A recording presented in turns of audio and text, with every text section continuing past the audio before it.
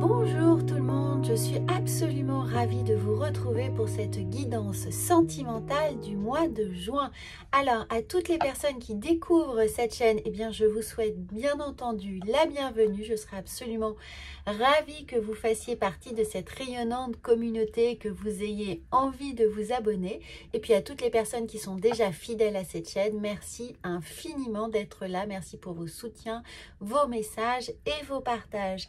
Alors, n'oubliez pas, là, nous allons aborder la guidance sentimentale, mais bien entendu, je vous invite à regarder votre horoscope du mois de juin en signe solaire, lunaire et ascendant. Comme ça, vous aurez une complémentarité parfaite de toutes les énergies qui vont venir traverser votre signe. Amis Verseau, bonjour, je suis ravie de vous retrouver avec cette guidance sentimentale du mois de juin. Alors merci à toutes les personnes qui découvrent cette chaîne, j'espère que vous aurez du plaisir à faire partie de cette rayonnante communauté et vous y abonner et puis toutes celles qui sont déjà présentes. Merci infiniment pour tous vos mots, vos commentaires, votre soutien et évidemment tous les partages de ces vidéos qui évidemment contribuent à tout ce que je vous offre et me donne envie de vous offrir encore plus de contenu. Alors, n'oubliez pas, il s'agit d'une guidance générale. Vous pouvez bien sûr la compléter. Hein. Et là, on va voir tout de suite avec le chakra du cœur, un petit point météo, un axe de réflexion pour vos énergies sentimentales et affectives du mois de juin. Et nous avons pour vous Éloigne-toi. Eh bien, ami Verseau, il semblerait qu'il faille vous éloigner d'une situation qui peut être conflictuelle, difficile, une situation qui ne vous convient pas en tout cas. Alors, momentanément ou définitivement, ça c'est à vous de voir et à vous de l'adapter, mais ça nous indique surtout qu'il y a de la distance hein, qui est nécessaire peut-être pour vous ressourcer, pour vous retrouver, pour vous consacrer à une activité qui vous est importante. Mais si euh, votre relation génère de la frustration hein, ou une situation euh, compliquée, eh bien, prenez ce moment de pause. Bien évidemment, si vous êtes célibataire, eh bien, c'est peut-être tout l'inverse, c'est éloignez-vous euh, de cette situation de solitude voulu ou non, hein, mais euh, peut-être que ça ne vous porte pas euh, des énergies positives et que vous vous sentez bien seul et dans l'envie évidemment de retrouver quelqu'un avec laquelle partager votre, enfin quelqu'un, une personne avec laquelle partager votre quotidien. En tout cas, dans cet éloignement, eh bien, on sent que c'est nécessaire, même si vous êtes célibataire et que vous souhaitez euh, retrouver quelqu'un, L'éloignement ici vient vous dire de bien vous ressourcer, de bien vous recentrer avant de vous plonger dans une relation nouvelle. Peut-être justement, euh, ce temps est là pour vous permettre de bien digérer votre passé, de bien digérer peut-être des blessures qui ont été... Euh, eh bien, pas encore totalement cicatrisées avant de vous relancer. Donc, on va voir un peu plus avec l'améthyste Love, ce qui vient à vous. N'oubliez pas de l'adapter. Encore une fois, hein, c'est important de vous le rappeler que c'est une guidance générale. Si vous le souhaitez en personnaliser, vous avez les liens sous la vidéo pour me consulter. Mais là, ça vous donnera certainement des axes de réflexion nécessaires et puis vous pouvez les compléter avec votre horoscope en signe lunaire, solaire et ascendant. En tout cas, nous avons l'automne. Et eh bien oui, il y a l'idée de se détacher de quelque chose, que vous soyez en couple ou non. Euh, cette guidance sentimentale, relationnelle, émotionnelle vient vous dire qu'il est temps de se détacher de euh, eh bien d'un passé douloureux ou de certaines blessures ou de certains automatismes ou d'une emprise euh, ou de mauvaises habitudes aussi qui peuvent être là. Donc il y a, voyez, l'idée des feuilles mortes, hein, évidemment, de euh, élaguer, couper des branches qui eh bien, ne sont plus en capacité de donner quelque chose, de donner des fruits, d'être euh, fructueuse pour vous, laissez ce qui est déjà mort d'une certaine manière partir. Hein, ne vous encombrez pas. Ensuite, nous avons, eh bien, très belle chose, la chance, les opportunités, la possibilité pour vous de créer d'autres choses, bien évidemment, de, euh, laisser d'autres bourgeons sur des feuilles saines, et eh bien, fleurir, prendre place pour vous. Donc, une fois que vous aurez recentré votre énergie sur des choses importantes, principales, qui vous constituent, peut-être réactualiser évidemment vos besoins, vos envies, ce qui vous est véritablement important. Et du coup, en canalisant cela, eh bien, laisser les choses fleurir. Hein. Voilà, c'est l'intérêt de, évidemment, d'élaguer les arbres ou de tailler ces rosiers. Je vous donne un exemple. C'est pour permettre aux branches les plus résistantes de pouvoir porter eh bien, des fruits ou des fleurs. Alors, nous avons ici coup de foudre. Alors, pour certains, la rencontre avec une personne arrive. Alors, il faut faire le ménage, il faut laisser de la place pour pouvoir accueillir des nouvelles énergies. Jusque-là, ça paraît assez logique. En revanche, si vous êtes chargé émotionnellement de votre passé, si vous avancez avec vos valises pleines de douleur, de remords, de colère ou de peur, eh bien forcément, ça laisse peu de place à une personne, une autre personne, de remplir aussi vos valises et de pouvoir les porter à deux. Donc, ce que je veux vous dire, videz vos valises, videz votre sac, évacuez ce qui n'est plus nécessaire et lorsque vous aurez fait de la place, eh bien, vous serez en mesure de pouvoir voyager léger, de vous ouvrir à l'inconnu, de vous ouvrir à la rencontre et puis de pouvoir eh bien, voyager à deux euh, en partageant, et eh bien, en partageant vos valises, en faisant un peu de place pour récupérer celle de l'autre. Donc le coup de foudre est là où effectivement si vous êtes en couple, et eh bien que vous essayez de d'évacuer un certain nombre de frustrations parce que des choses vous ennuient, hein, euh, eh bien, vous aurez peut-être un renouveau, un regain, euh, une, seconde lune de miel, dans ce sens où un renouveau d'amour, euh, quelque chose qui va renaître. Et l'été, là, est une très bonne saison pour ça. Donc, profitez de Zeus, de l'amour, du coup de foudre, qui est là, qui se présente à vous. Et puis, nous avons regardé là prendre une décision avec son âme, des choix, des choix du cœur, des choix émotionnels là qui s'imposent d'une certaine manière à vous.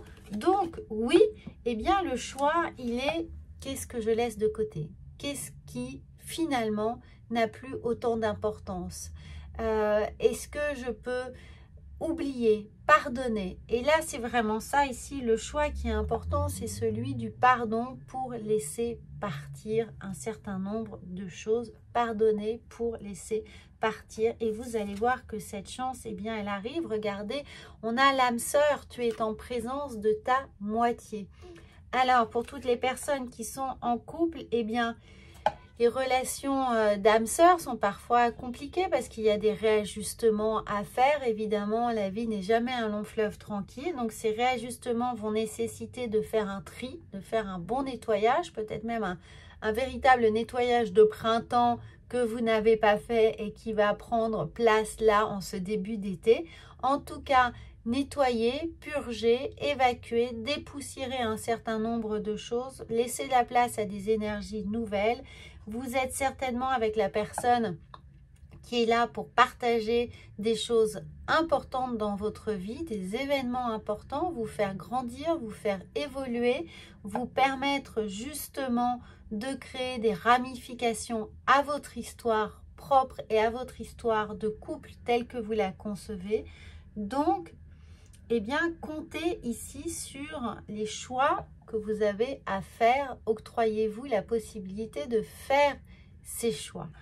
Et puis pour les personnes célibataires, c'est un peu la même chose, évidemment. Hein.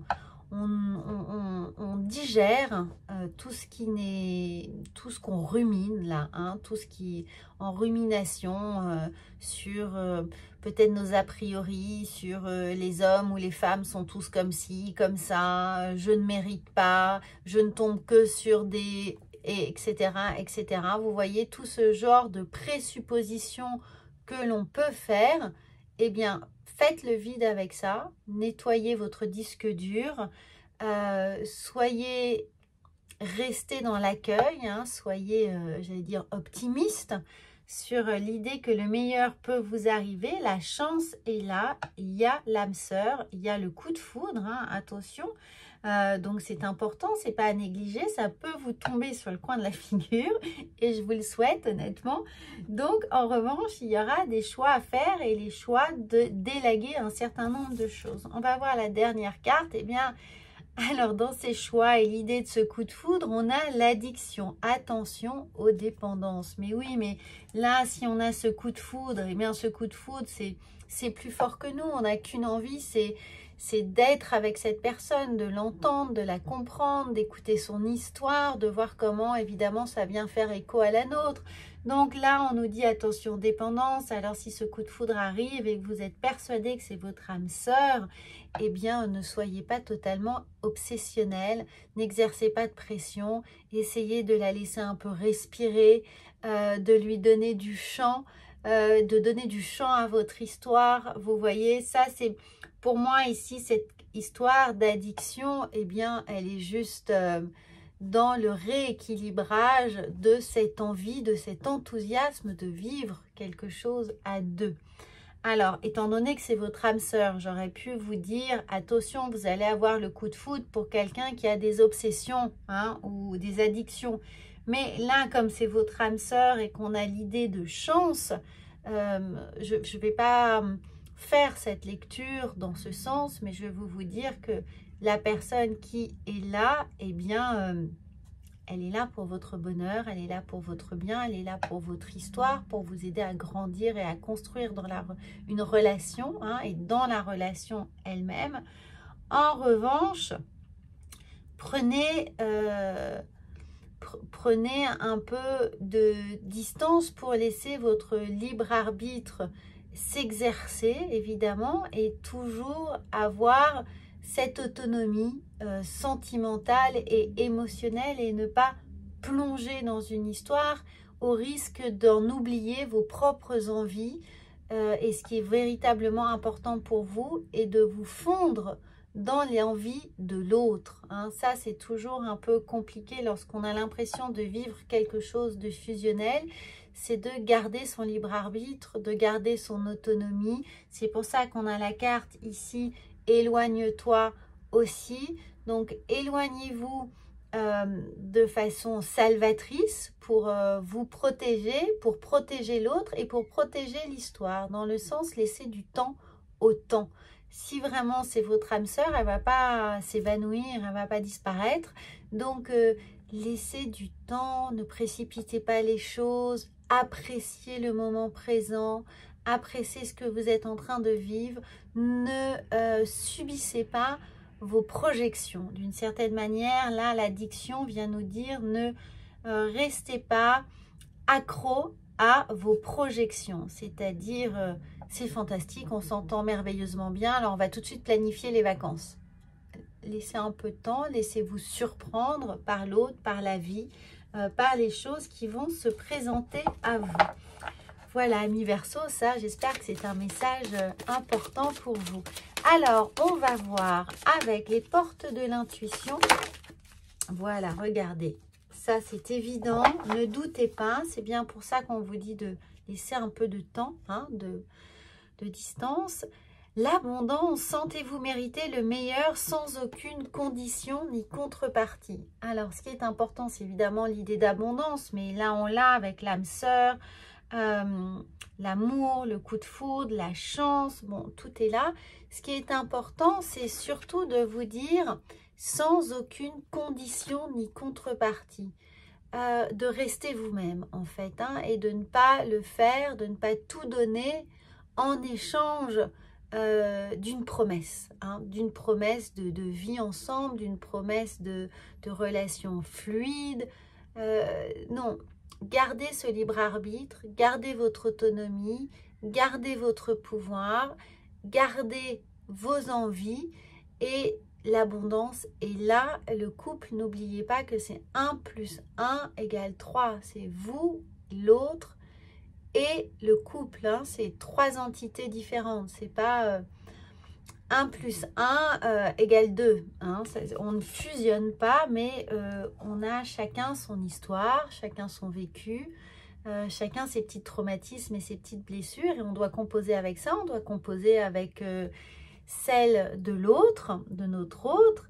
Et puis, autour de ça, on doit créer eh l'énergie du couple, qui est indépendante, évidemment, de vos histoires passées.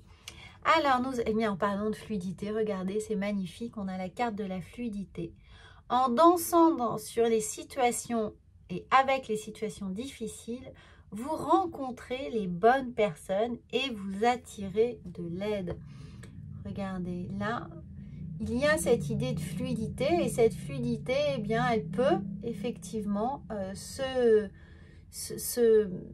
réaliser la situation sine qua non, c'est peut-être de danser sur les situations difficiles et ça pourrait vous être difficile de justement vous éloigner, de garder cette distance pour que chacun puisse avancer à son propre rythme. Hein. L'idée, c'est de laisser une respiration euh, distincte entre vous, vos envies et celle de votre autre. Donc, gardez cette fluidité euh, tout en gardant cette distance et la gestion peut-être des, difficultés euh, euh, qui sont là, de prendre son temps. Hein, de prendre son temps, ça peut être compliqué. Éloignez-vous. Éloignez-vous. N'étouffez pas la relation, n'étouffez pas l'autre. sachez apprécier. Hein. C'est comme un, un, bon plat. Si on l'avale d'un coup, bon, bah voilà, c'est fait. Si on prend le temps d'apprécier le plat, ses couleurs, ses odeurs, chaque produit distinct dans l'assiette, les saveurs, etc., eh bien, euh, l'histoire est totalement différente. Donc, prenez votre temps. Alors, on va voir ensuite euh, avec l'oracle de la sagesse, quelle sagesse va vous accompagner Eh bien, nous avons encore une fois, regardez, cœur fidèle ça veut dire soyez fidèle à vous, hein, à vos envies, à vos besoins, à ce que vous êtes, à votre nature, à vos revendications aussi. Euh, ne vous oubliez pas. Mais, euh, mais vous êtes certainement aussi en présence d'un cœur fidèle, c'est-à-dire la personne qui vous correspond, qui vous attend, euh, votre alter ego. Et là, on a l'idée d'ici d'âme sœur, et là, on a la même chose avec cœur fidèle. Et ensuite, aller plus loin. Eh bien, aller plus loin, faites-vous confiance tout simplement pour avoir la capacité d'aller plus loin. Ça ne veut pas dire projetez-vous tout de suite. Ça veut dire soyez endurant, hein. restez endurant euh, dans tout ce que vous faites pour justement ne pas avoir l'envie de sprinter tout de suite, d'aller tout de suite à destination, d'aller tout de suite vers les vacances, tout de suite vers la programmation, tout de suite vers euh, l'organisation des fêtes de fin d'année. Je vous donne un exemple. Mais euh, gardez en tête que vous pouvez y arriver. Et comme vous pouvez y arriver, il n'y a pas d'urgence. Il y a juste prendre euh, le temps d'observer le paysage d'une même façon, avec une analogie différente. Si vous êtes dans un train à, très grande vitesse, vous n'apprécierez pas le paysage. Si vous êtes dans un petit train de un voilà, un tout petit train, eh bien, qui roule doucement, vous allez prendre le temps d'apprécier le paysage et le voyage va être totalement différent. Donc, prenez ce temps-là, amis verso. Euh, on va tirer une dernière carte pour avoir l'oracle de la vision intérieure.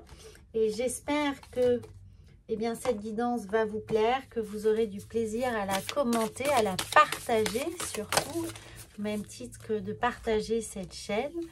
Et moi, je vous dis, regardez, visualisation créative. Tout ce que tu peux imaginer devient réalité. Utilise le pouvoir de la pensée créatrice pour donner vie à tes rêves. C'est en ça où on vous dit d'aller plus loin. C'est de visualiser.